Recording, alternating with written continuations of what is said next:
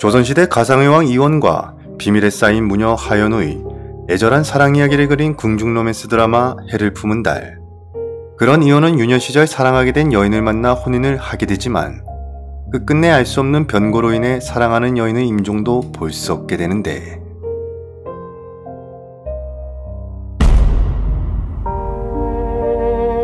왕은 해라 하고 왕비는 곧 달이라 한다.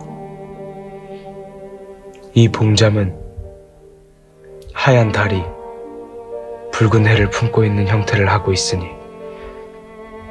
내 이것을 해를 품은 달이라 이름 붙였다.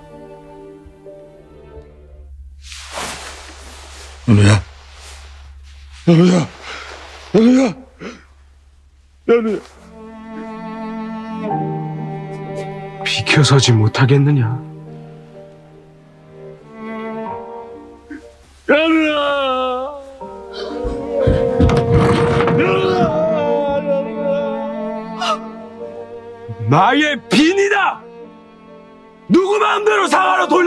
말이냐? 비키거라!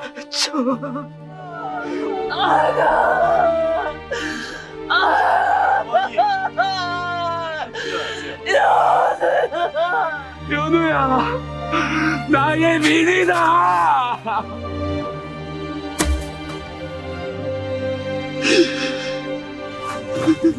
연우야! 이거 나라!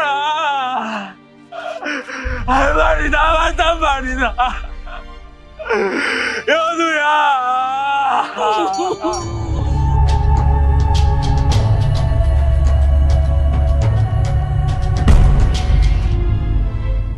하늘의 태양은 하나, 태전의 영상 또한 하나. 의성군은 존재 자체만으로도 금상의 옥좌를 위협하는 반드시 제거되어야 할 태양입니다.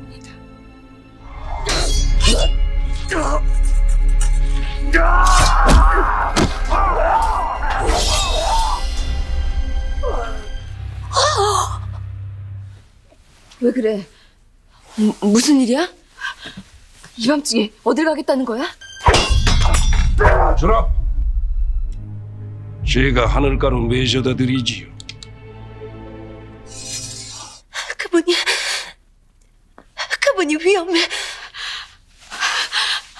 아리야. 그자를 도대체 왜? 그자가 간언이랍시고 올리는 말들이 전부 외척을 겨냥하고 있으니 대비마마의 심정이 상하시는 것도 무리는 아니지요.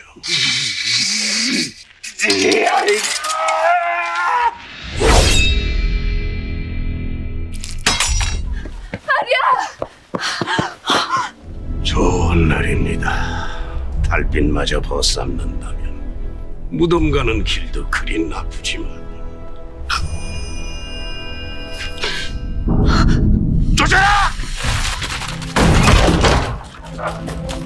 결국 성조대왕의 이복 동생인 의성군은 대비윤 씨와 이조판서 윤대응의 계략으로 죽게 되고 반면 무녀였었던 아리는 검은 의국의 사내들에게 쫓긴 나머지 그만 절벽 아래로 떨어지게 된다.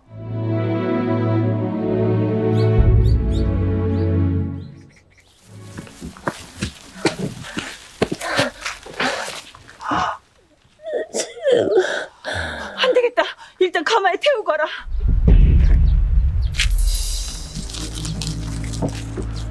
멈춰라!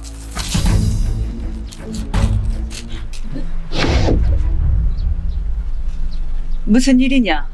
어찌 이리 지체되는 것이야? 도망간 대역죄인을 찾고 있습니다. 신뢰가 많았습니다. 마님의 아기 씨는 인연이 죽어서라도 반드시 지켜드리겠습니다.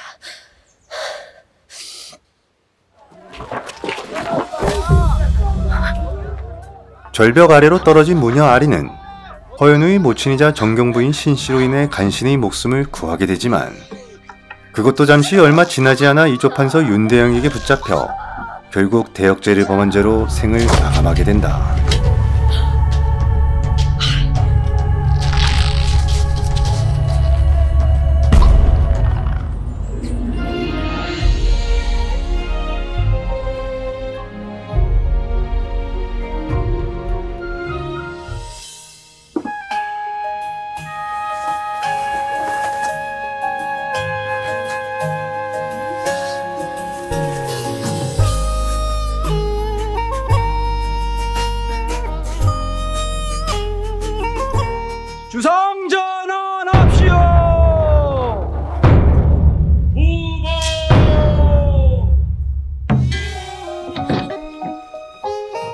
그렇게 비극적인 피바람이 한 차례 사라지고 어느덧 과거 급제자에게 사품을 수여하던 방방내가 시작된다.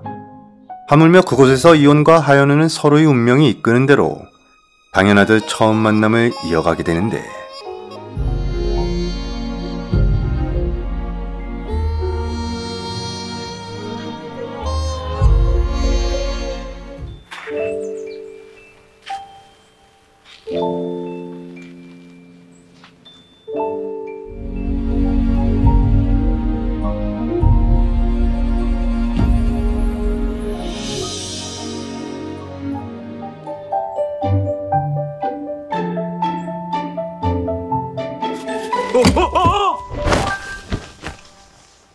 분명히 아직 원래에 계실 것이네. 주상 전하께서 아시는 날엔 자네들이나 나나 엄벌을 면치 못할 것이야. 어서 움직이게. 어서. 예.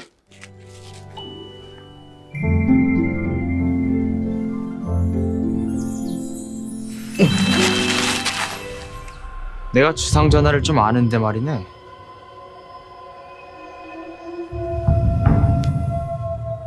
너 같은 아들 둔 적 없다는데?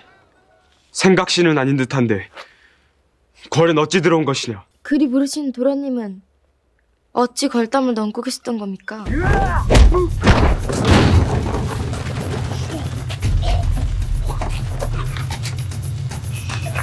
어허!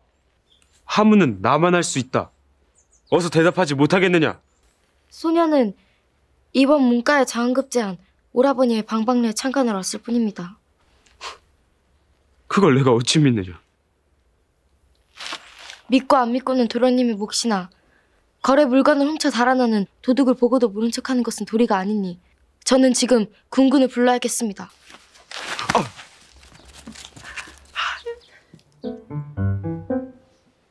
나, 나, 나가는 문을 찾고 있었을 뿐이다. 아, 나 역시 형님이 문과의 자원급자요. 아니, 무가의 자원급자여 형님의 방방내 참. 형 형님이 주상전하께 하사받은 무... 여기요! 거래 도둑이 들었습니다! 여기 은할 가게!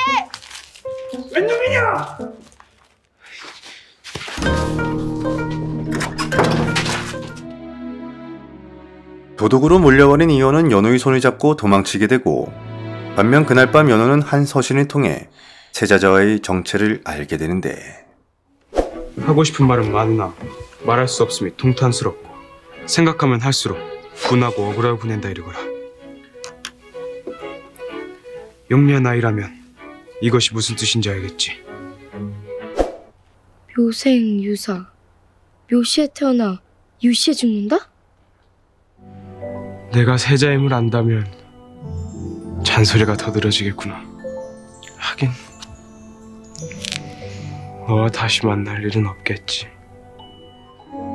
그리면 둥글고 글로 쓰면 각이 진 것. 묘시에 떠서 유시에 지는 것? 일, 날일, 해일, 네가 지금 나를 무시하는 것이냐? 나는 이 나라 조선을 태양. 주상 전하, 소신 무탈하게 여행을 마치고 돌아왔사옵니다. 세자저와 아십니까? 다시 만날 일이 없어 소녀는 얼마나 다행인지 모릅니다. 설마 다시 만날 수 있는 것이냐? 다시 만나 반갑다. 허연우. 궁궐내 몰래 기웃거리다 이온을 도둑으로 오해한 연우는 세자자와의 정체를 알고 몹시 놀라게 된다. 반면 훗날 보위에 올라 자신이 사랑하던 여인과의 운명을 오랫동안 슬퍼하는 왕은 세상 그 어떤 누구에게도 마음을 주지 않게 된다. 이처럼 오랜 세월 동안 연무에도 변고가 있다면 아마도 사무침이라는 변고가 변질되어 그리움이 되는 것은 아니었을까. 다음 내용이 궁금하다면 구독과 알림 설정은 꼭 잊지 말아주세요. 저는 그럼 다음 화에서 찾아뵙도록 하겠습니다. 영상이 마음에 들었다면 구독과 좋아요는 사랑입니다.